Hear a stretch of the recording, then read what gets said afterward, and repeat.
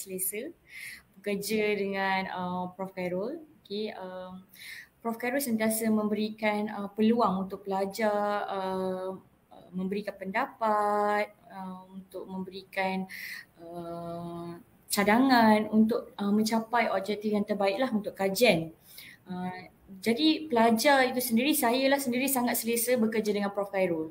Okay, yang kedua, uh, sepanjang saya mengenali Prof. Khairul, uh, Prof. Khairul sangat menjaga kebajikan pelajar itu sendiri dari segi kewangan, dari segi uh, kesihatan pelajar itu sendiri, um, dari segi kebajikan pela, uh, uh, pelajar itu sendiri memang Prof. Khairul sangat menjagalah. Right? Uh, yang ketiga, uh, Prof. Khairul adalah seorang yang sangat berdedikasi. Uh, dia sangat seorang yang sangat bekerja keras dalam uh, mencapai matlamat apa yang dia nak dalam uh, kajian yang dilakukan. Uh, waktu tu kita nak uh, saya dan Prof. Khairul bekerjasama untuk uh, untuk um, publish satu artikel dalam Q1. Jadi Prof. Khairul uh, dari selepas subuh ya selepas uh, um, sahur tu selepas uh, subuh Prof. Khairul terus email and call untuk buat uh, pembetulan artikel semua kan. Jadi saya seorang pelajar memang lebih perlu berdedikasi dan perlu bekerja keras lah lebih daripada dia sendiri untuk mencapai matlamat. Dia uh, berpeluang uh, bekerja sama dengan seorang uh, penyeli yang sangat berdedikasi. Jadi apa saja matlamat yang dibincangkan uh, ya sebelum 3 ke 4 tahun sebelum um, pengajian tu kami dapat capai alhamdulillah.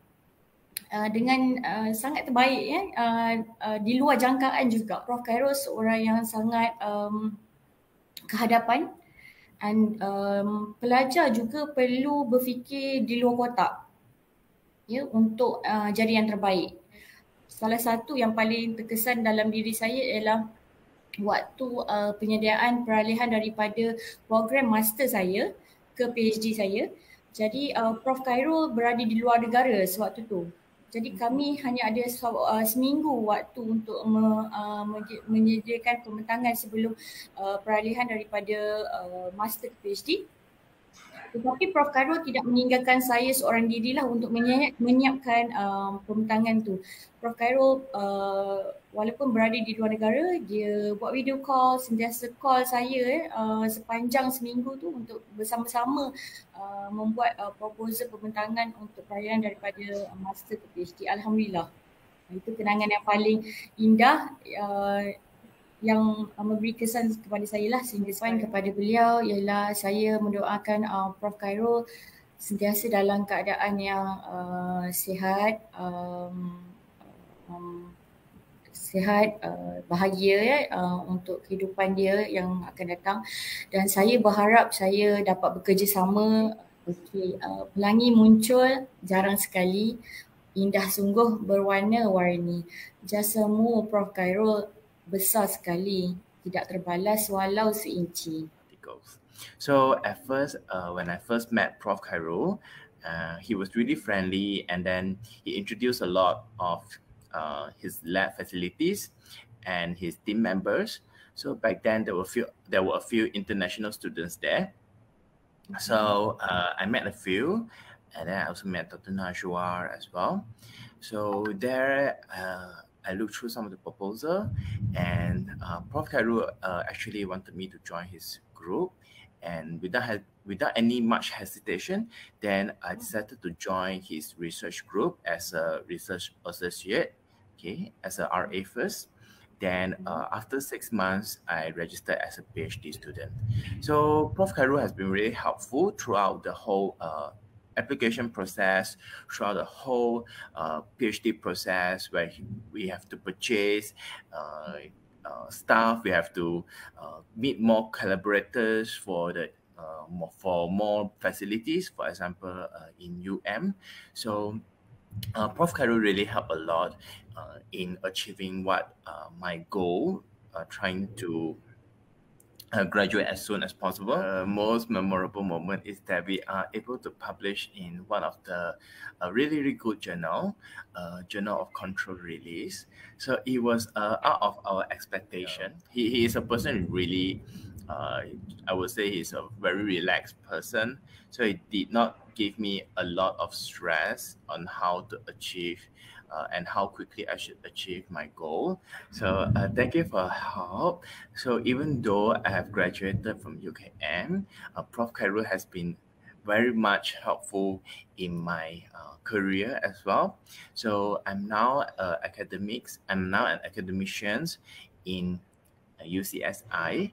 So I think there is a very much recommend uh, by Prof. Khairul as well to my current dean. So thank you, Prof. Khairul, for this help. So I will take this opportunity and learn as much as possible when I'm in academics.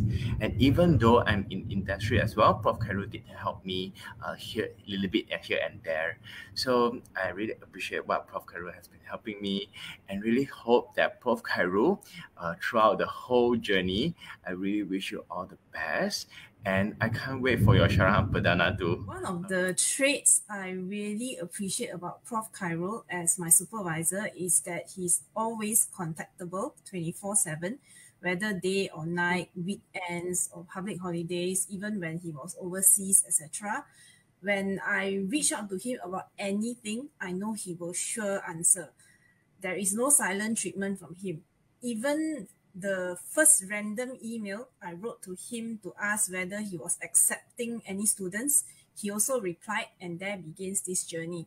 To me, this trait is important um, as I know he's always there and that I'm not alone in my postgrad journey. No matter how busy he was as the then Deputy Director General Ministry of Higher Education, he really made time to meet with his students and ensure that we graduate on time. Nothing was sitting on his desk for long. He was even checking my thesis while waiting to board a plane. He sent back uh, his comments about my thesis and added, I'm away to Riyadh in a short while. We'll be back on Friday. That's how dedicated and efficient he is. May your dedication and hard work be rewarded with success and recognition. Continue to be the best academician you can be, making a positive impact and bringing changes in the Malaysian education arena.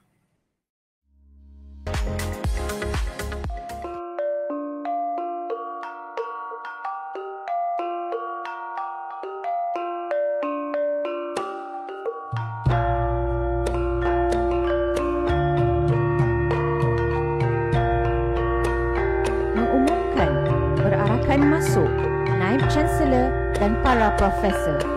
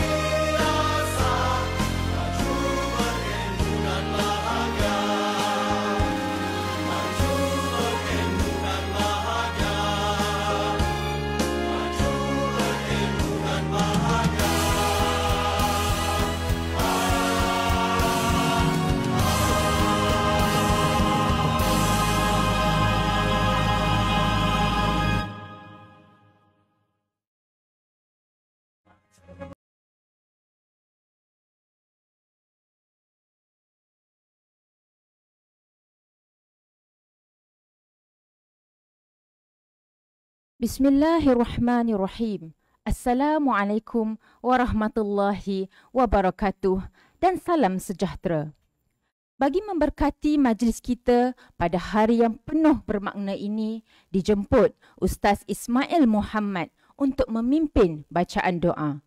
Majlis dengan segala hormatnya mempersilakan.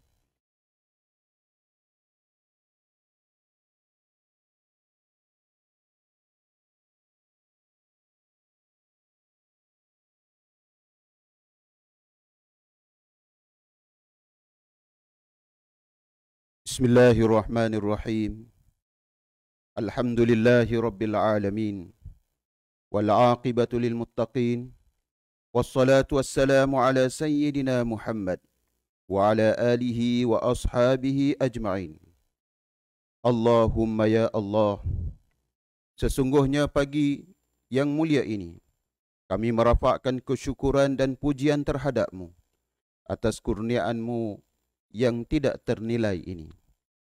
Allahumma ya Allah, ya Karim, ya Azim, ya Hakim. Sesungguhnya kami berhimpun di sini bagi menyatakan kesungguhan, komitmen dan iltizam kami dengan roh dan semangat untuk membangun, membina serta mendidik dan memartabatkan anak bangsa supaya berbudi dan berjasa kepada agama, bangsa, bangsa dan watan kami.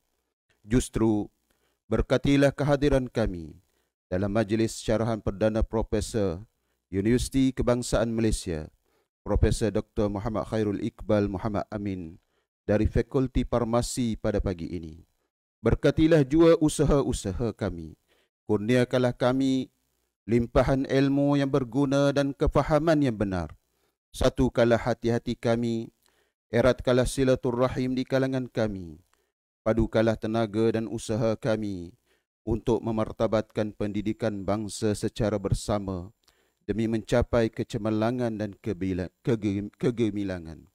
Allahumma ya alim, ya khabir. Jadikanlah kami ya Allah dari kalangan hamba-hambamu yang taat dan bersyukur.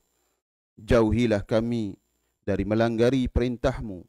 Kurniakanlah apa kiranya ya Allah kepada kami kesihatan yang berpanjangan kesejahteraan yang sempurna, fikiran yang waras, minda yang cergas, rezeki yang halal, zuriat dan generasi kami daripada generasi yang beriman serta segala kebaikan di dunia maupun di akhirat. Allahumma ja'al jam'ana hadha jam'an marhuma wa tafarruqana min ba'dihi tafarruqan ma'suma wa la taj'alillahumma fina wa la ma'ana wa la man yatba'una شقيا ولا مترودا ولا محروما. اللهم اجعل خير أعمالنا آخرة وخير أعمالنا خواتمة وخير أيامنا يوم يوم ألقاك اللهم اغفر لنا ذنوبنا ولإخواننا الذين سبقونا بالإيمان ولا تجعل في قلوبنا غلا للذين آمنوا. ربنا إنك رؤوف رحيم. ربنا آتنا في الدنيا حسنة وفي الآخرة حسنة وقنا عذاب النار والحمد لله رب العالمين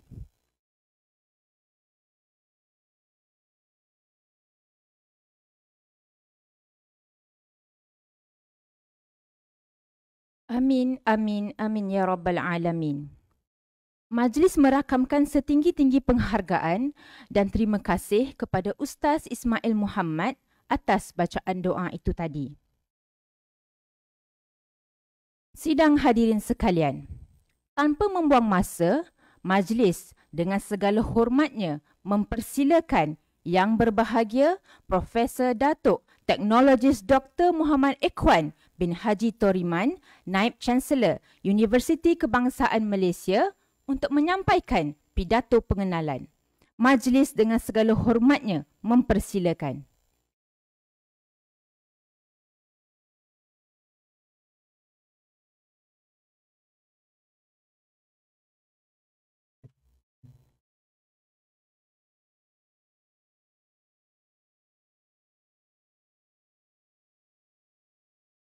Bismillahirrahmanirrahim. Assalamualaikum warahmatullahi wabarakatuh. Saudara-saudari yang dihormati sekalian. Kita memberi penghormatan kepada Profesor Dr. Muhammad Khairul Iqbal bin Muhammad Amin dari Fakulti Farmasi yang akan menyampaikan syarahan perdana beliau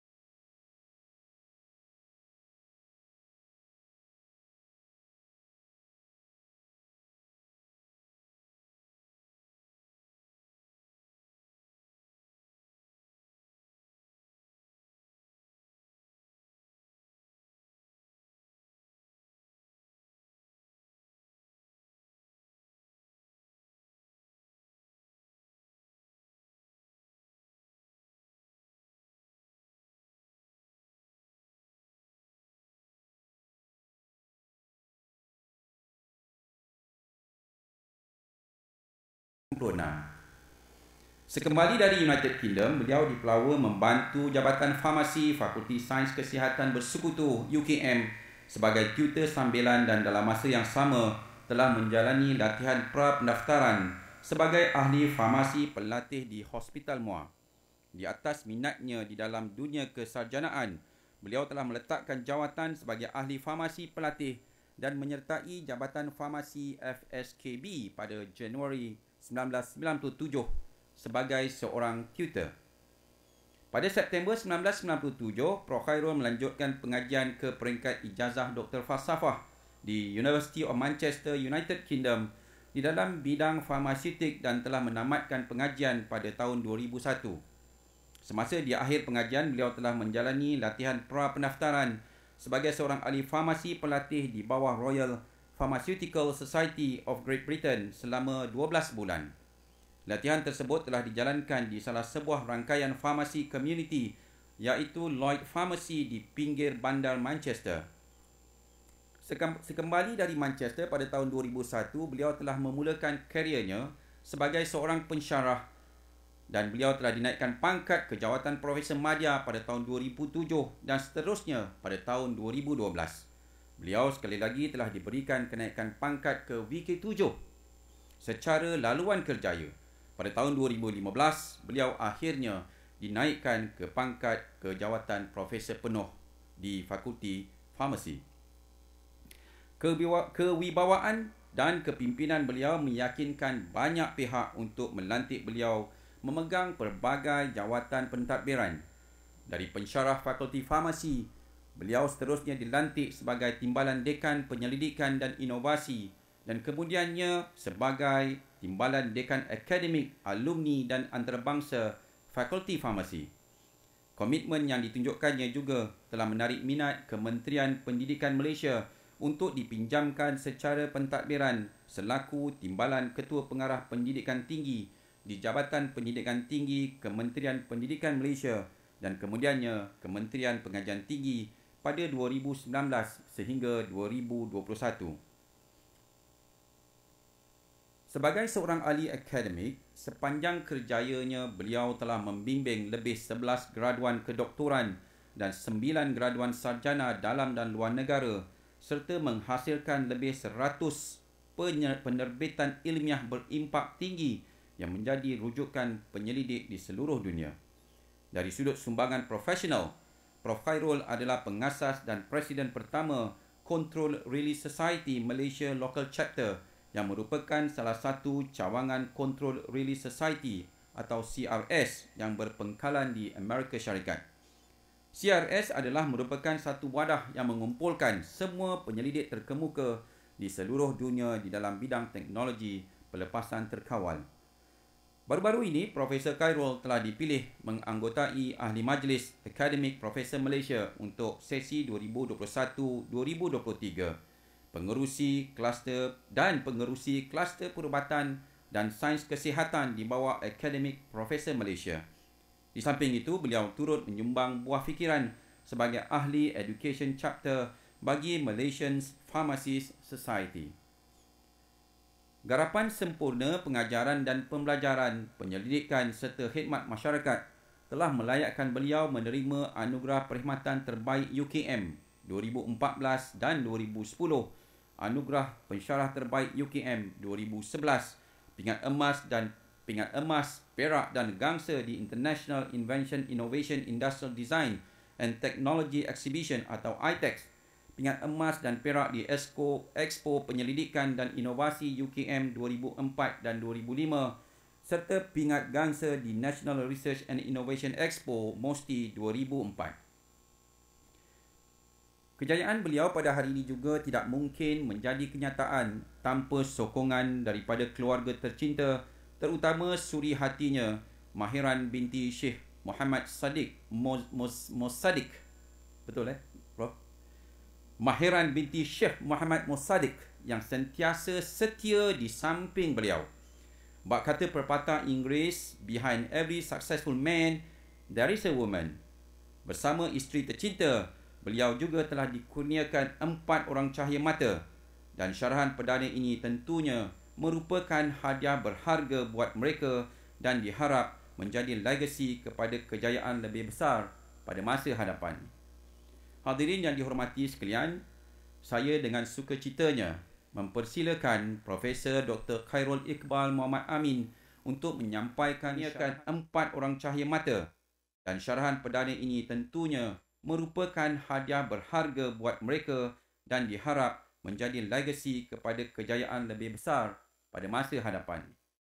Hadirin yang dihormati sekalian, saya dengan sukacitanya mempersilakan Profesor Dr. Khairul Iqbal Muhammad Amin untuk menyampaikan syarahan perdana beliau yang bertajuk Hydrogel Pintar Selulosa Bakteria Inovasi Ampuh dalam Teknologi Farmaseutik. Sekian, wabillahi taufiq wal hidayah. Wassalamualaikum warahmatullahi wabarakatuh.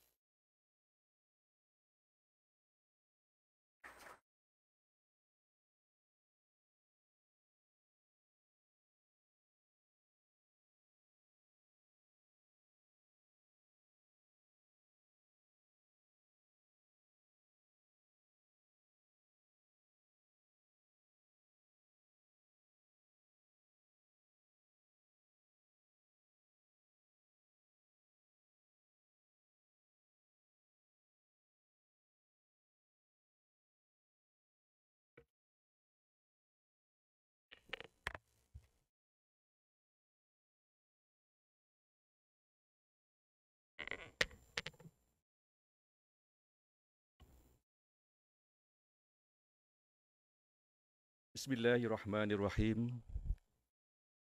Yang berbahagia Datuk Naib Chancellor. Yang berbahagia timbalan-timbalan Naib Chancellor. Para ahli senat, para dekan dan pengarah, para profesor emeritus, para profesor, profesor madya dan pensyarah, para mahasiswa, para tetamu kenamaan, Hadirin dan hadirat yang saya hormati sekalian. Melati kuntum tumbuh melata sayang merbah di pohon cemara. Assalamualaikum mulanya kata saya sembahkan pembuka bicara. Assalamualaikum warahmatullahi wabarakatuh dan salam sejahtera. Yang berbahagia Datuk Naib Chancellor dan hadirin yang saya muliakan. Pertama sekali, izinkan saya merakamkan setinggi-tinggi penghargaan kepada yang berbahagia Datuk Naib Chancellor yang telah sudi untuk meluangkan masa untuk bersama-sama menghadiri majlis syarahan perdana profesor ini. Kesudian yang berbahagia Datuk Naib Chancellor dan semua yang bersedia meluangkan masa meraihkan majlis ini tentu sekali lah amat saya hargai. Datuk Naib Chancellor, Izinkan saya untuk memulakan syarahan perdana ini yang diberi judul Hidrogel Pintar Selulosa Bakteria Inovasi Ampuh dalam Teknologi Farmaseutik. Hadirin dan hadirat yang saya muliakan, masih lagi terpahat dalam ingatan saya. Lebih 20 tahun yang lampau. Ketika itu saya sedang melayani dua orang anak saya, Qatrun Nada dan Muhammad Fakrul Razi. Yang baru saja saya ambil pulang dari pusat asuhan sekembali dari tempat kerja. Isteri saya yang disayangi, yang disayangi pula pada ketika itu tiada di rumah. Kerana masih lagi dalam perjalanan pulang dari Universiti Malaya menghadiri kuliah Certificate of Legal Practice-nya. Saya perhatikan mereka, anak-anak saya berdua ini, sedang leka menikmati sejenis juadah seperti agar-agar sambil menonton program kegemaran mereka iaitu Teletubbies di kaca televisyen. Lama saya perhatikan mereka berdua. Bukanlah sebab terliur, tetapi kerana saya tertanya-tanya apakah sebenarnya yang sedang mereka nikmati itu. Lantas, saya mengambil keputusan untuk melihat bungkusan tersebut dan meneliti isi kandungannya. Tertera di situ, salah satu bahan kandungannya dinyatakan sebagai nata di koko.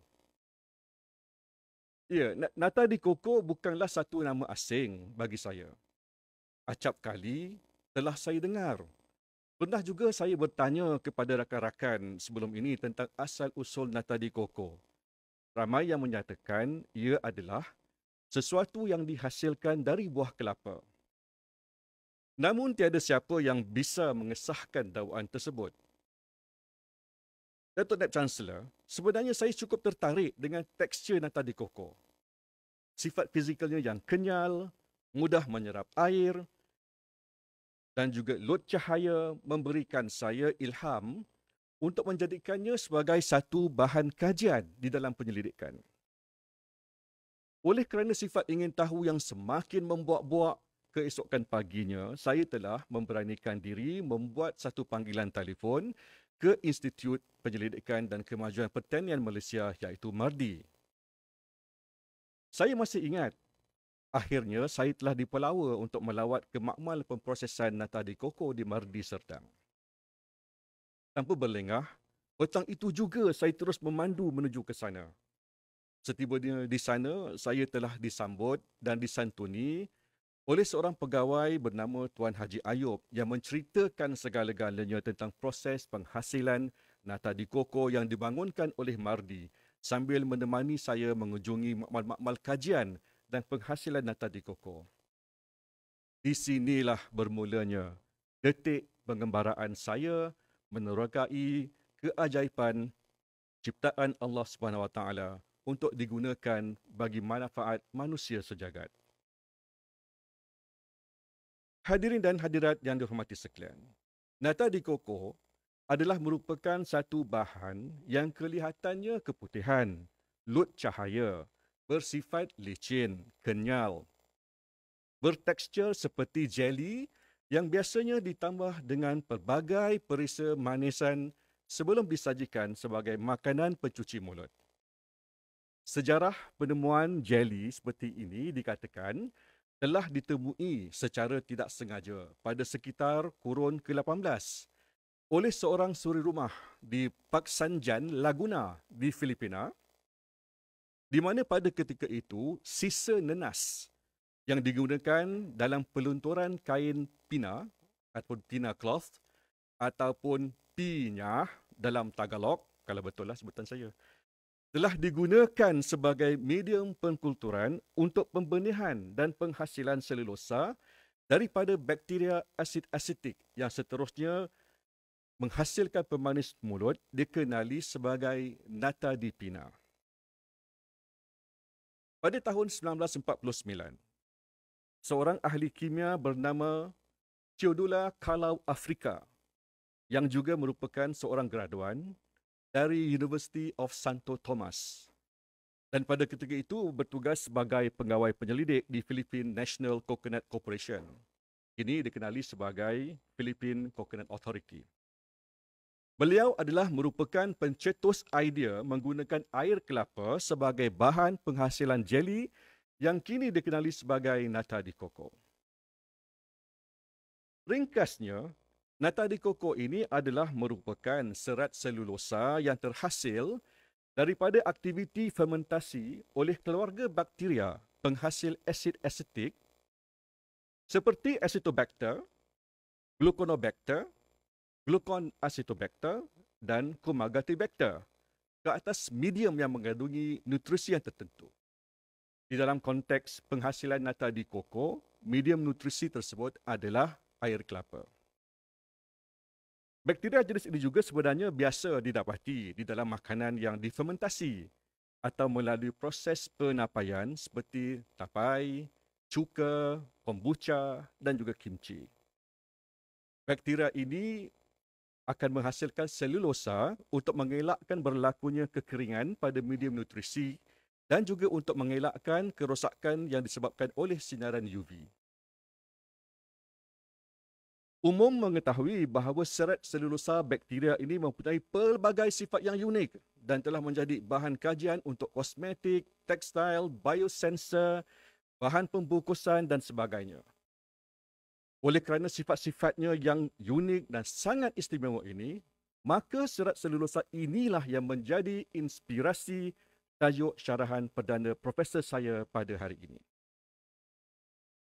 Yang berbahagia Datuk Dan Chancellor dan hadirin sekalian, izinkan saya untuk meneruskan bicara ini. Mungkin akan ada yang bertanya apa pulakah yang dimaksudkan dengan hidrogel? Hidrogel bolehlah ditakrifkan sebagai satu rangkaian polimer tiga dimensi yang berupaya mengekalkan sejumlah air yang besar di dalam keadaan yang membengkak ataupun dalam keadaan swollen state.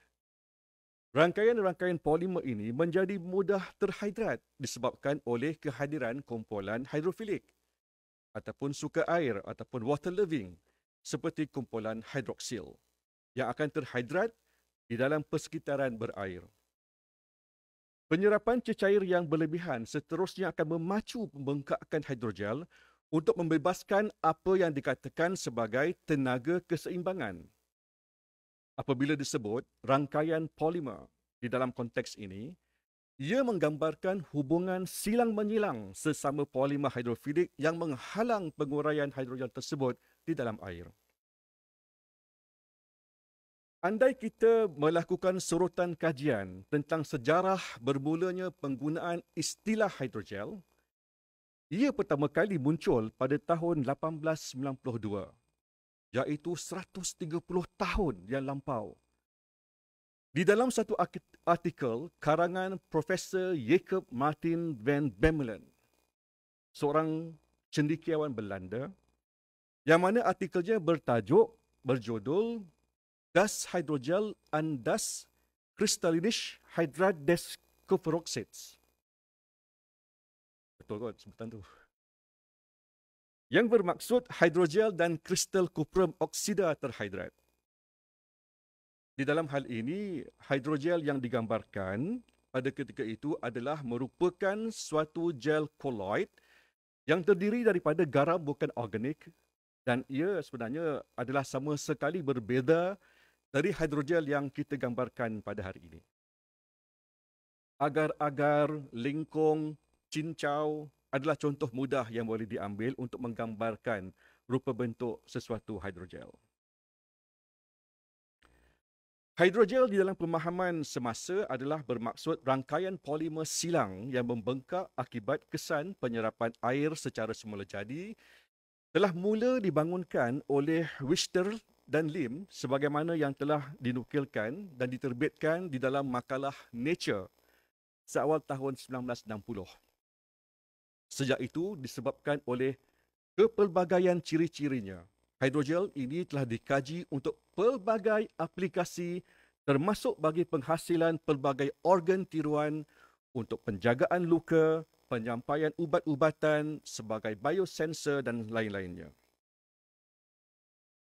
Hidrogel pintar pula bolehlah ditakrifkan sebagai sejenis hidrogel yang membentuk jaringan tiga dimensi yang terdiri daripada rantaian polimer hidrofilik yang terpaut silang yang berupaya untuk bertindak balas secara drastik terhadap satu perubahan yang kecil berpunca dari rangsangan persekitaran dengan menyebabkan satu perubahan yang besar pada sifat-sifat fizikalnya atau kimianya seperti sifat pembengkakan, penguraian, peralihan fasa sifat sol ke gel dan juga pembentukan transformasi hidrogel. Di dalam hal ini, rangsangan persekitaran tersebut bolehlah dikategorikan sebagai rangsangan fizikal seperti suhu, elektrik, medan magnet, ultrasound dan tekanan atau melalui rangsangan kimia seperti pH, jenis ion, kekuatan ionik dan bahan pelarut atau rangsangan biologi seperti enzim, antibody dan glukosa. Hidrogel pintar ini kini sedang diterokai sebagai sistem penyampaian ubatan yang canggih yang berupaya melepaskan dadah molekulan kecil, protein, jin, agen anti-kanser dengan kawalan berdasarkan rangsangan tertentu melalui pelbagai laluan termasuk laluan topikal, transdermal, oral, parenteral dan ocular. Hidrogel pintar sangat bergantung kepada jenis polimer yang digunakan semasa penyediaannya. Pemilihan polimer yang sesuai amat penting semasa mereka bentuk hidrogel rangsangan responsif untuk aplikasi di dalam penyampaian ubat-ubatan. Sebagai contoh, hidrogel pintar responsif pH boleh digunakan di dalam penyampaian ubat yang terkawal. Pelepasan dadah oleh hidrogel pada pH yang tertentu bergantung kepada pemilihan polimer yang terangsang pH yang sesuai. Jika pelepasan dadah diperlukan pada pH yang neutral atau alkali, poliasid akrilik iaitu satu polimer anionic yang melarut akan menyebabkan hidrogel membengkak pada pH yang tinggi menjadikannya lebih sesuai untuk mencetuskan pelepasan dadah pada pH yang beralkali. Manakala, jika kita menggunakan poly n diethyl amino ethyl metakrilat, iaitu satu polimer bersifat kationik, ia akan menyebabkan hidrogel ini membengkak pada pH yang rendah seterusnya menjadikannya lebih sesuai jika pelepasan dadah itu diperlukan pada pH yang berasid. Hadirin dan hadirat yang saya muliakan. Izinkan saya meneruskan bicara ini. Pada sekitar awal tahun 2009, pasukan penyelidik kami telah menjalankan satu kajian untuk mengembangkan potensi nata di koko atau selulosa bakteria dengan menyilangkannya bersama polimer yang tertentu bagi tujuan penghasilan satu hidrogel. Dengan menggunakan teknologi pendedahan radiasi aluran elektron, pasukan kami adalah merupakan satu-satunya pasukan penyelidik di dunia ini yang telah mencipta sejarah dan berjaya menghasilkan hidrogel berasaskan nata di koko yang disilangkan dengan asid akrilik. Seluruh bakteria yang diekstrak dari nata di koko pada mulanya dibersihkan, kemudian disejuk kering sebelum dihancurkan dan dicirikan supaya dapat dikenal pasti ketulenannya. Di dalam kajian ini, cube data di koko mentah yang tersedia di dalam asid asetik ataupun cuka telah diperolehi daripada pemain industri makanan tempatan dan digunakan sebagai sumber utama selulosa bakteria. Untuk menghilangkan kesan asid asetik dan bendasing yang lain, nata di koko ini dicuci berulang kali dan direndam dengan air suling selama beberapa hari dengan tukaran air dilakukan setiap hari. Nata di koko yang telah dibersihkan itu kemudiannya dibasmi kuman dengan dididihkan di dalam bancuhan larutan sodium hidroksida selama sekurang-kurangnya satu jam dan dicuci dengan air yang ditapis berulang kali sehinggalah pH-nya menjadi neutral. Nah, tadi koko yang yang dinutralkan tadi kemudiannya dikisar sehingga hancur dengan menggunakan pengisar dan disejuk bekukan pada suhu 20 darjah Celsius di bawah takat beku selama 24 jam. Palpa nata di koko yang dibekukan tadi seterusnya dikeringkan pula ataupun dikering bekukan pula pada suhu 110 darjah Celsius di bawah takat beku selama 72 jam dan dikisar lagi sehingga menjadi serbuk dengan menggunakan pengisar khas. Bagi menghasilkan hidrogel, selusa bakteria berkepekatan 1% di dalam air sodium dicampurkan dengan larutan asid akrilik pada nisbah 4 nisbah 1 dituangkan ke dalam satu acuan khas dan kemudiannya didedahkan kepada radiasi aluran elektron dengan dos yang diberikan pada setiap formulasi adalah pada kadar 35 kg dan 50 kg.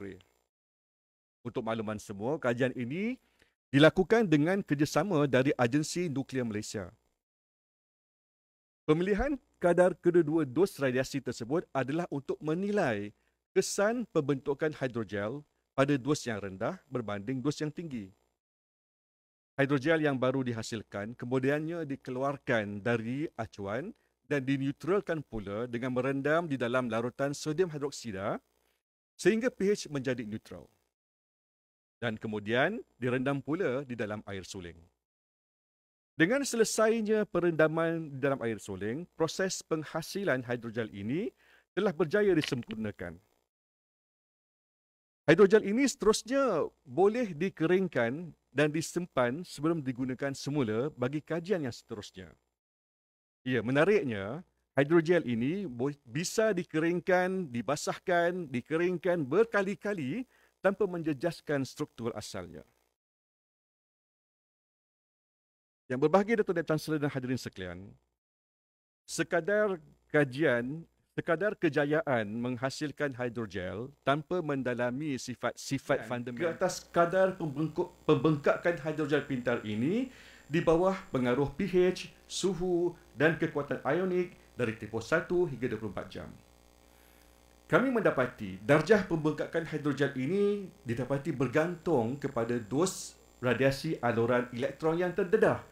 Sewaktu penghasilannya di mana hidrogel yang telah disintesis pada kadar 50 kg mempunyai kadar pembengkakan yang lebih tinggi di dalam metanol berbanding dengan air suling pada suhu bilik selepas 24 jam. Kekuatan ionik persekitaran pula didapati telah memberikan kesan dengan penurunan darjah pembengkakan apabila berlaku peningkatan kepekatan larutan garam natrium klorida. Hidrogen pintar ini juga didapati peka terhadap perubahan pH di mana pembengkakannya meningkat selari dengan peningkatan pH dan mencapai nilai optimal pada pH 7. Selain itu, pembengkakannya juga didapati meningkat dengan peningkatan suhu dari 25 darjah Celsius sehingga 50 darjah Celsius.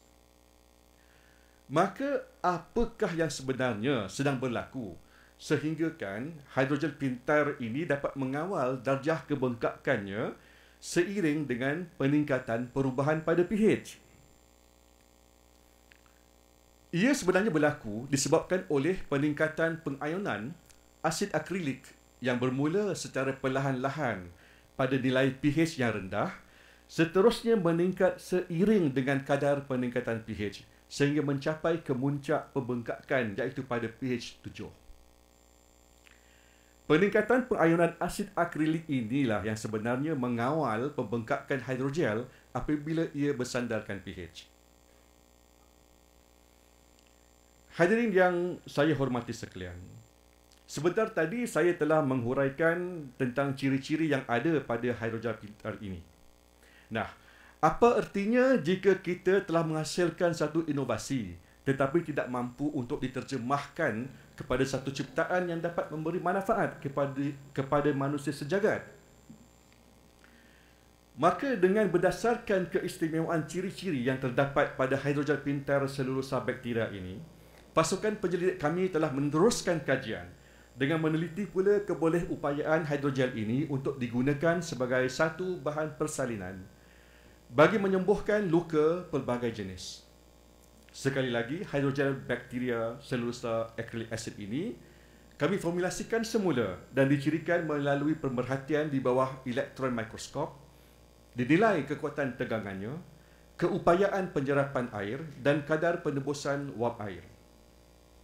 Sifat cytotoxicity atau sifat toksik hidrogel ke atas sel juga turut dikaji dengan menggunakan titisan sel L929 iaitu sejenis sel yang diambil dari kulit tikus.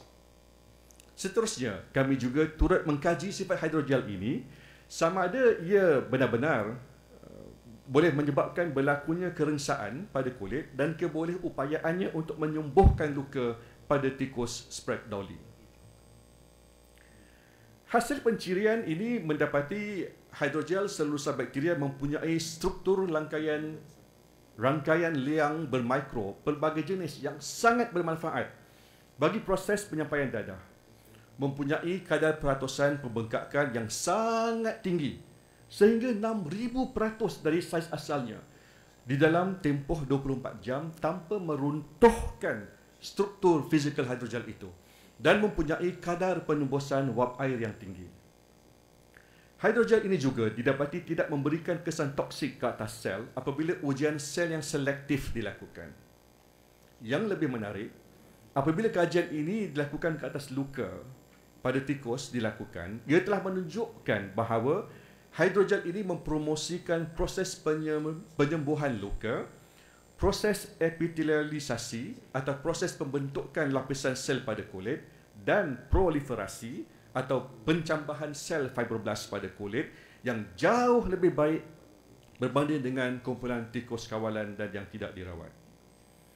Hidrogel selulosa bakteria ini juga didapati tidak toksik ke atas sel-sel kulit fibroblast dermal dari tisu manusia dengan menunjukkan daya tahan yang cukup tinggi melebihi daripada 80% dan didapati bersifat bioserasi terhadap darah dengan indeks hemolitik atau indeks penguraian sel darah merah yang cukup rendah. Tidak cukup dengan itu, kami juga merasakan apakah mungkin jika kita boleh mempermudahkan penghasilan satu hidrogel pintar dengan menggunakan satu kaedah yang lebih ringkas. Justru, pasukan penyelidik kami telah meneliti dan seterusnya menghasilkan hidrogel berdasarkan kombinasi selulosa bakteria dan poliakrilamida yang direka bentuk khusus sebagai mikropartikel dengan menggunakan kaedah gelombang mikro.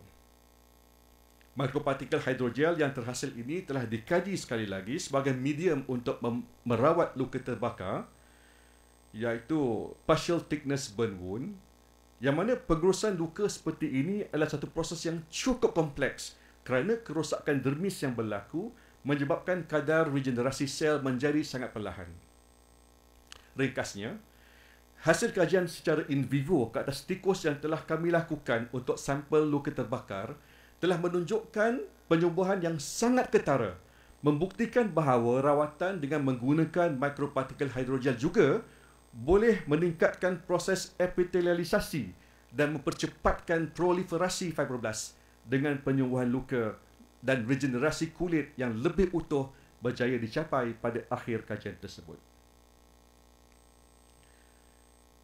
Hadirin sekalian, Kajian kami yang terdahulu yang saya paparkan sebentar tadi telah menunjukkan bahawa hidrogel selulosa bakteria yang telah kami bangunkan sebelum ini cukup serasi untuk digunakan sebagai bahan persalinan luka. Namun di dalam penyelidikan yang seterusnya, kami ingin maju jauh lebih ke hadapan. Soalan seterusnya yang bermain di minda kami. Kajian kami yang terdahulu yang saya paparkan sebentar tadi telah menunjukkan bahawa hidrogel selulosa bakteria yang telah kami bangunkan sebelum ini cukup serasi untuk digunakan sebagai bahan persalinan luka. Namun di dalam penyelidikan yang seterusnya, kami ingin maju jauh lebih ke hadapan. Soalan seterusnya yang bermain di minda kami adalah Apakah mungkin hidrogel selulosa bakteria ini dapat kami gunakan untuk membawa sel-sel dari kulit manusia iaitu keratinosit dan fibroblast bagi membantu pembentukan regenerasi tisu sewaktu penyembuhan luka?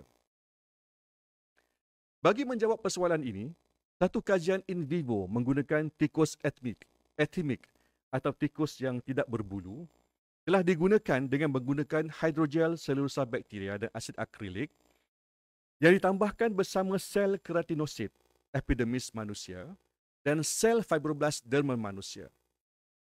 Untuk menjayakan kajian ini, pasukan kami telah menjalinkan kerjasama dengan Pusat Kajian Kejuruteraan Tisu dan Perubatan Regeneratif, Fakulti Perubatan UKM.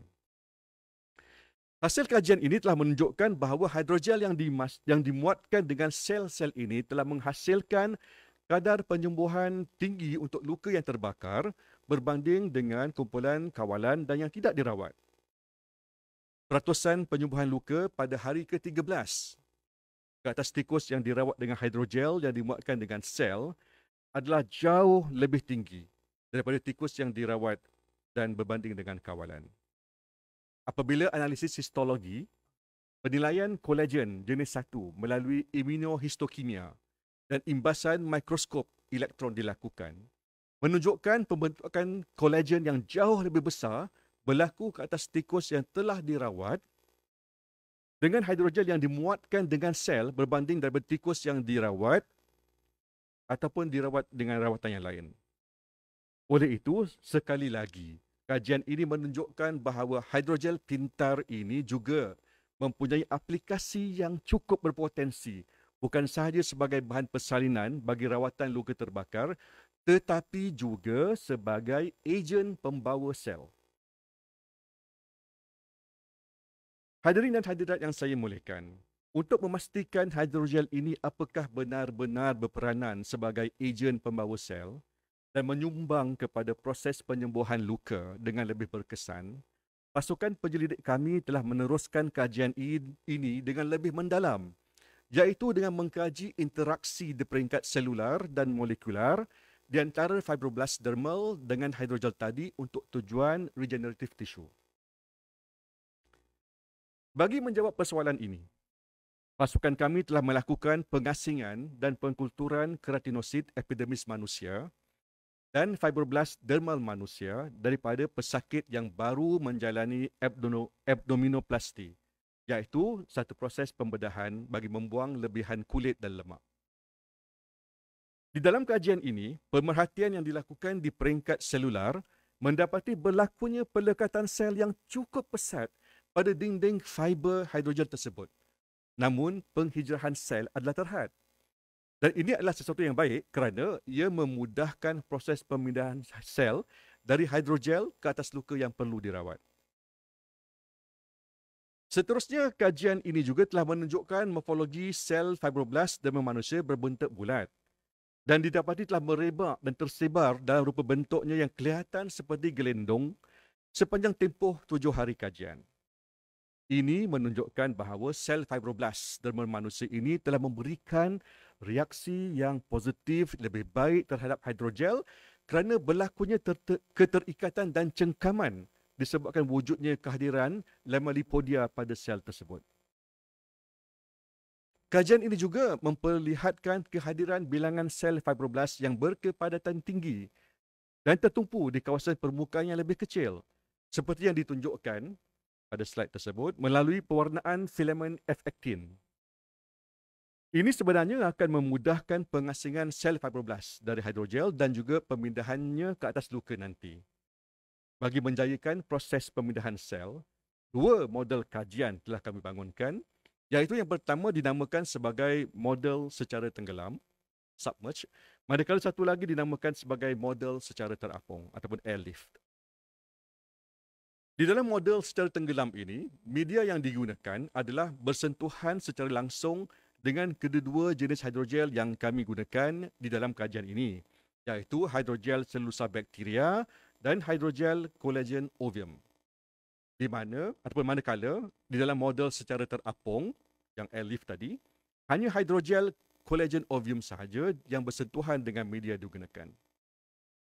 Di dalam hal ini, hidrogel collagen ovium adalah terdiri daripada kolagen jenis satu, digunakan untuk mewakili luka matrix ekstra selular secara in vitro memandangkan kolagen type 1 ini adalah komponen utama matrix tersebut. Baik. Hasil kajian telah mendapati sel fibroblast tidak berhijrah melalui hidrogel kerana sel nukleus yang berwarna biru dan satu plasmanya yang berwarna hijau tetap berada di permukaan teratas hidrogel dari hari pertama hinggalah hari ketujuh. Hidrogel ini jelas terbukti berfungsi sebagai ejen pembawa sel kerana penghijrahan sel yang terhad dan ia bermanfaat supaya sel di permukaan hidrogel, hidrogel tadi tersedia untuk kita pindahkan ke atas tempat luka.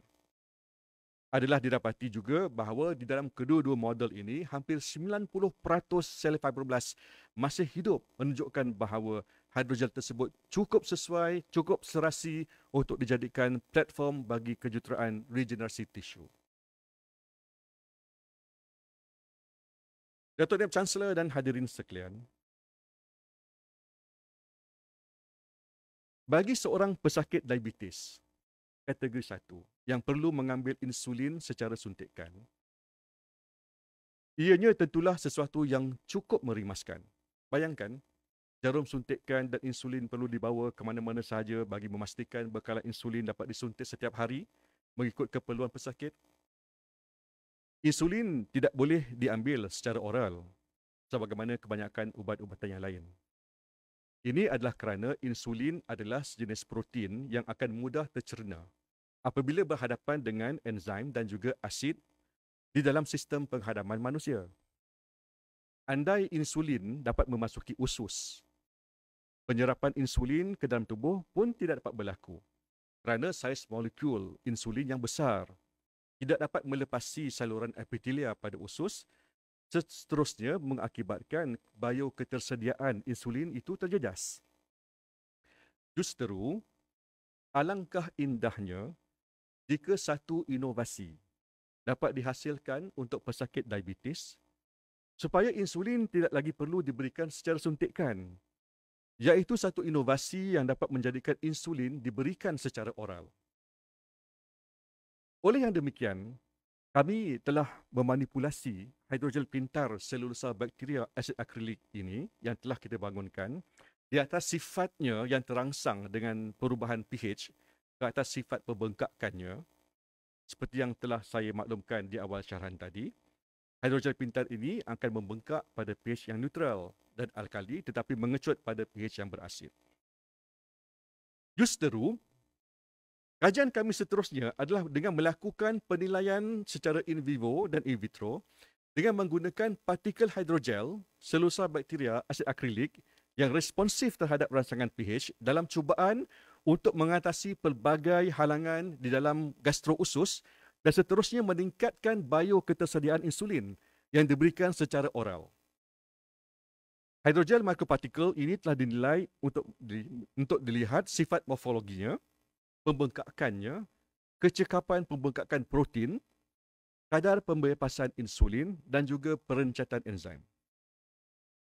Kelebihan menggunakan microparticle hidrogel ini adalah kerana ia mempunyai liang atau rongga bersaiz nano yang didapati mempunyai kecekapan untuk memerangkap insulin sehingga 84% dan mempamerkan ciri pintar iaitu bersifat responsif pada perubahan pH dan menyebabkan berlakunya pembebasan insulin. Mikropartikel hidrogel ini juga didapati menurunkan aktiviti proteolitik tripsin iaitu sejenis, sejenis enzim yang mencernakan protein termasuklah insulin sehingga 60%. Di dalam penyelidikan ini, sifat kelekitan mukosa secara ex vivo, degradasi atau penguraian insulin dan pengangkutan serta pemindahan insulin turut diteliti di atas tisu usus. Selain itu, kesan pemindahan paraselula turut dikaji di dalam sel monolapis KAKO2 dan HT29MTX. Pengangkutan insulin berentasi monolapis sel didapati telah meningkat hampir 6 kali ganda dengan bantuan hidrogel. Kesan hypoglycemic secara in vivo dan pharmacokinetic hidrogel yang dimuat insulin juga dikaji pada tikus diabetik. Mikropartikel hidrogel yang dimuatkan insulin yang diberikan kepada tikus tersebut secara oral menunjukkan kesan hypoglycemic yang lebih tinggi berbanding dengan pemberian insulin sahaja. Dan peningkatan relatif bioketersediaan insulin secara oral melalui hidrogel adalah hampir mencecah 8 kali ganda. Ini menunjukkan potensi yang cukup besar jika peluang dapat diberikan untuk pembangunan pemberian insulin secara oral dapat dilakukan.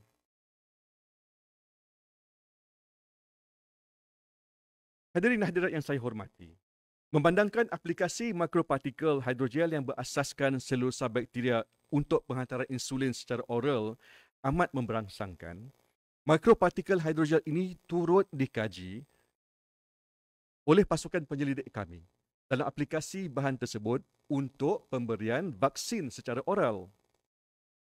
Ovalbumin, sejenis protein dari telur putih yang bisa mencetuskan alahan pada kulit, telah dijadikan sebagai model vaksin di dalam kajian tersebut.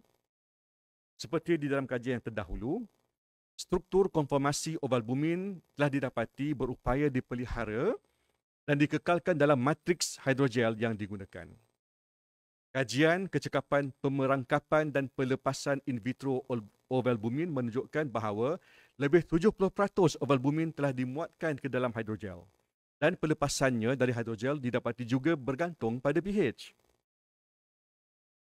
Mikropartikel hidrogel juga didapati telah mengurangkan pengukuran TEER ataupun Transepithelial Electrical Resistance kultur tiga lapisan HT29MTX Kako 2 RAGB yang menunjukkan bahawa hidrogel pintar ini mempunyai potensi untuk membuka laluan protein persimpangan sempit pada lapisan epithelia.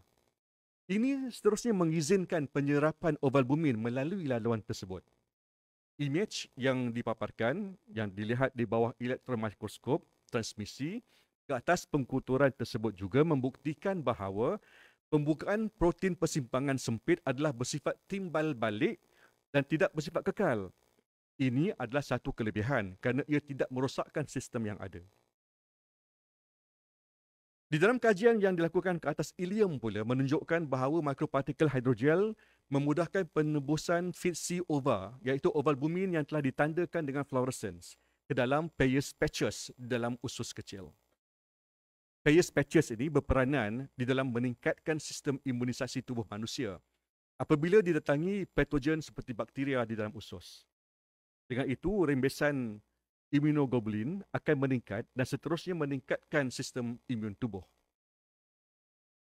Seterusnya, pasukan penyelidik kami juga mengkaji kombinasi ovabumin dan toksin kolera B di dalam imunisasi oral secara in vivo sebagai antigen dan adjuvan.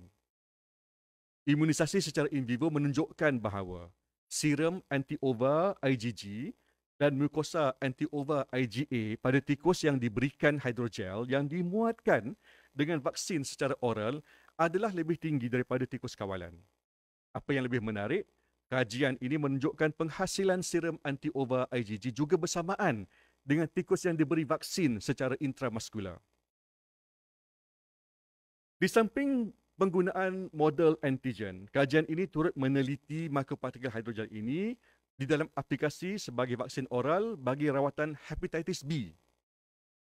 Apa yang menarik di sini, di dalam kajian imunisasi secara in vivo, tikus yang diberikan vaksin di dalam hidrogel menunjukkan kesan imunogenik dengan rebesan IgA mukosa yang lebih tinggi berbanding dengan kawalan vaksin intramuskular. Kumpulan yang sama turut diperlihatkan dengan proliferasi splenosit dengan rangsangan oleh antigen hepatitis B dengan peningkatan rembesan cytokine IL-2 dan interferon IFN alpha, IFN gamma, ekspresi penanda CD69 dalam limfosit T pada tikus yang diberikan vaksin dalam hidrogen adalah setanding dengan kawalan vaksin intramuskular.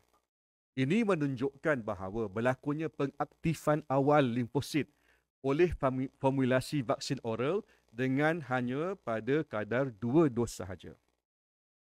Keseluruhan, keseluruhan hasil kajian ini menunjukkan potensi yang besar bagi mikropartikel hidrogel yang dimuatkan antigen sebagai kaedah vaksinasi oral untuk hepatitis B. Yang berbahagia Datuk Naib Chancellor dan sidang hadirin sekalian, tidak dapat dinafikan lagi bahawa hidrogel pintar selulosa bakteria yang telah pasukan penyelidik kami hasilkan adalah satu inovasi yang cukup ampuh dan wajar diberikan perhatian. Pelbagai potensi baru sedang diterakai oleh ramai penyelidik di seluruh dunia. Penghasilan hidrogel selulosa berasaskan, berasaskan sumber semula jadi dari bakteria ataupun terbitan hidrogel semula jadi ataupun nanokomposit telah dikaji bagi tujuan kepelbagaian sistem penghantaran ubat secara pelepasan terkawal dengan menyasarkan lokasi terfokus yang memerlukan rawatan. Hidrogel pintar berdasarkan selulosa turut dijadikan sebagai perancah ataupun scaffold bayu perubatan yang amat sesuai di dalam kegunaan bidang farmaseutik dan juga kejuruteraan tisu.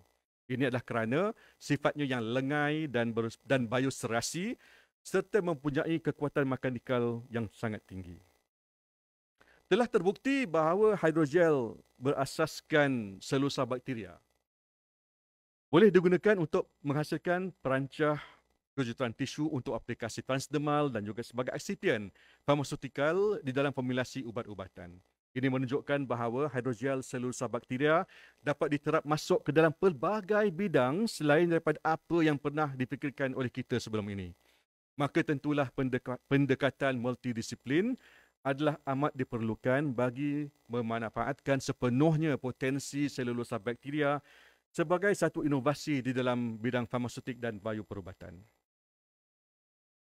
Yang berbahagia Datuk Dan Chancellor, untuk makluman yang berbagi Datuk, di dalam permohonan cadangan penyelidikan kepada Wellcome Trust di bawah kategori Discovery Research Grant Award yang baru saja pasukan penyelidik kami hantarkan pada 23 hari bulan Mac yang lalu bersama pasukan penyelidik dari University of Wolverhampton UK. Kami telah mencadangkan satu kajian penjanaan semula tulang ataupun bone regeneration dengan menggunakan perancah ataupun scaffold, titanium dan tembaga bersama hidrogel pintar selulosa bakteria bagi merawat kecacatan saiz tulang kritikal ataupun critical size bone defect. Kajian ini jika diterima dan diluluskan akan mengambil tempoh selama 8 tahun dengan cadangan kos hampir 14 juta ringgit dan melibatkan pelbagai bidang kepakaran termasuk bidang teknologi farmaseutik, kejuruteraan tisu, kejuruteraan mekanikal, perubatan ortopedik, perubatan veterina, bioperubatan dan biokimia. Mohon doa dari Datuk Naib Chancellor dan hadirin sekalian, mudah-mudahan permohonan tersebut menjadi kenyataan. Pada masa akan datang, lebih banyak lagi penyelidikan diperlukan untuk menerokai potensi hidrogen pintar berdasarkan selulosa bakteria dengan profil aktiviti yang tersendiri yang dapat mensinergikan aktiviti bahan aktif farmaceutical yang lain. Yang berbahagia Datuk dan Chancellor dan hadirin sekalian sebagai kesimpulan, selulosa bakteria adalah bahan yang cukup unik yang boleh digunakan sebagai ejen penghantaran darah, sebagai implan serta perancah di dalam tisu dan di dalam kejuruteraan tisu. Ia terdiri daripada nanofiber selulosa yang dihasilkan oleh bakteria Acetobacter xylinum yang terdapat dalam makanan yang mudah didapati di dalam kalangan masyarakat di Asia Tenggara pasukan penyelidik kami telah berjaya mengekstrak selulosa bakteria yang tulen daripada nata di koko di mana sebelum ini nata di koko ini langsung tidak mempunyai sebarang nilai saintifik. Pencapaian yang penting ini telah membuka ruang dan peluang bagi kajian potensi selulosa bakteria dalam bidang penghantaran dadah dan kejuruteraan tisu. Hidrogel pintar yang difabrikasi dengan polimer ini menunjukkan sifat yang sangat cemerlang terutamanya dengan ciri-ciri hidrogel yang sesuai dijadikan sebagai ejen penghantaran dadah, sebagai vaksin, juga untuk penghantaran sel manusia. Kajian saintifik ini telah memberi peluang kepada Natadi Koko, satu bahan mentah yang biasanya hanya digunakan di dalam industri makanan, tetapi kini dapat diberi nilai tambah di dalam bidang teknologi farmaseutik dan bioperubatan dengan adanya hasil kajian yang positif dari pasukan penyelidik kami. Yang berbahagia Datuk Dan Chancellor dan hadirin sekalian, akhir sekali izinkanlah saya untuk merakamkan setinggi-tinggi kesyukuran kepada Allah SWT. Kerana dengan segala limpah dan rahmat dan kurnianya, saya masih diberikan kesempatan dan kekuatan untuk menitipkan lembaran manuskrip syarahan perdana ini bagi memenuhi amanah selaku seorang akademia yang bergelar profesor di puncak Menara Gading Kebanggaan Rakyat iaitu Universiti Kebangsaan Malaysia, Universiti Watan kita. Sesungguhnya di UKM inilah tempat saya menumpang teduh mencari rezeki dan juga menuntut ilmu sama ada secara langsung ataupun tidak dari teman-teman seperjuangan di dalam dunia akademik ini. Di kesempatan ini, saya ingin mengabadikan ucapan kasih sayang dan terima kasih yang tidak terhingga kepada ayahanda Allah Yarham Tuan Haji Muhammad Amin bin Haji Abdullah dan bunda Allah Yarhamah Hajah Fatimah binti Husin yang telah melahirkan dan mendewasakan diri ini dengan penuh kasih sayang. Semoga Allah SWT menempatkan kedua-duanya di syurga Jannatul Firdaus. Saya juga ingin menjunjung setinggi-tinggi kasih dan sayang buat ayahanda mertua Tuan Haji Sheikh Muhammad Musaddiq Sheikh Muhammad Hussein dan ibu mertua Puan Hajah Khadijah Zainul Abidin yang sentiasa memberi sokongan pada diri ini. Dari pasangan ini juga lahirlah seorang isteri yang tercinta, Mahiran binti Sheikh Muhammad Musaddiq yang sentiasa berdiri teguh di belakang saya berkorban dan menyokong setiap langkah dan bicara bagi memajukan karier untuk masa depan keluarga yang dikasihi. Buat anak-anak, Patrun Nada, Muhammad Fakrul Razi, Safiyah Khadijah dan Muhammad Fakrullah. Papa wasiatkan syarahan perdana ini buat kalian sebagai sumber inspirasi di dalam pencarian ilmu duniawi dan ukhrawi. Terima kasih tidak terhingga kepada barisan kepimpinan Universiti Kebangsaan Malaysia dan Fakulti Farmasi khususnya yang telah memberi peluang kepada saya untuk menyampaikan syarahan perdana ini dan berkongsi karya bersama rakan dan taulan. Tidak lupa kepada barisan penilai dan penyunting teks yang tidak jemu-jemu membantu menghasilkan karya yang tersangat istimewa ini. Tidak lupa juga kepada semua guru-guru dari zaman persekolahan hinggalah ke universiti serta penyelia PhD saya Dr. John Fell dari University of Manchester yang telah membimbing diri ini di dalam dunia penyelidikan sehingga menjadi seperti hari ini. Sekuntum terima kasih buat semua teman akademik di Fakulti Farmasi dan UKM yang turut memberikan sokongan sepanjang saya menyelusuri karier akademik di sini. Terima kasih kepada semua kaki tangan pengurusan dan sokongan pejabat pentadbiran maupun makmal di Fakulti Farmasi yang sentiasa membantu dan tidak pernah mengeluh melayani karenah saya dan semua pelajar di bawah penyelidikan saya. Saya juga ingin merakamkan setinggi-tinggi penghargaan kepada Agensi Nuklear Malaysia yang sentiasa memberikan kerjasama sepenuhnya memberikan tunjuk ajar dan akses penggunaan instrumen iradiasi aluran elektron. Begitu juga buat semua mantan pelajar sarjana dan PhD di bawah penyelidikan saya yang bersungguh-sungguh menjayakan setiap penyelidikan yang dirancang sehingga menerima pengiktirafan dari rakan penyelidik di peringkat antarabangsa. Kepada kalian semua yang saya sebutkan, hanya Allah Subhanahu Wa Taala sahaja yang mampu membalas segala kebaikan di dunia dan akhirat.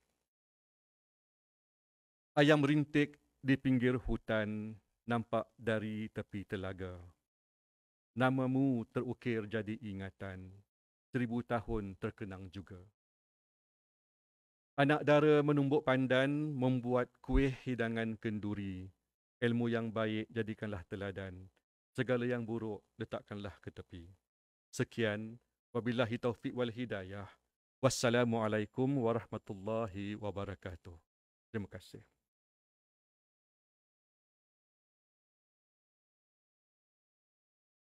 Yang berbahagia Datuk dan Chancellor, demikianlah sebahagian daripada catatan perjalanan akademik saya selama 25 tahun di UKM.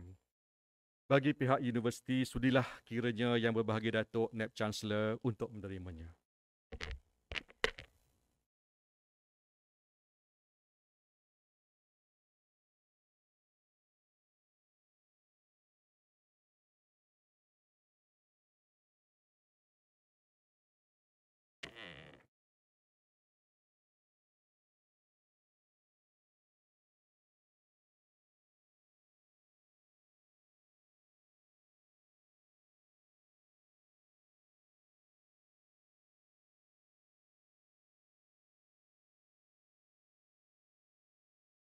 Hadirin yang dihormati sekalian.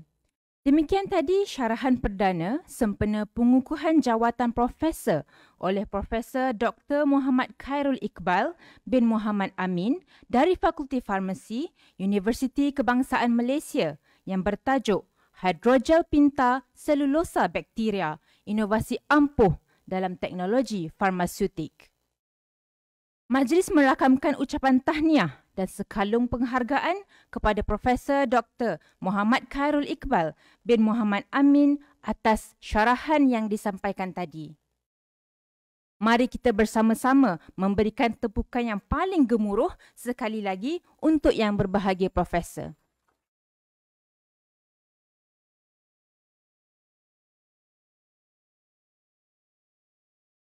Dengan berakhirnya majlis penyampaian buku syarahan itu tadi, maka berakhirlah sudah Majlis Syarahan Perdana Profesor Dr. Muhammad Khairul Iqbal bin Muhammad Amin pada hari ini.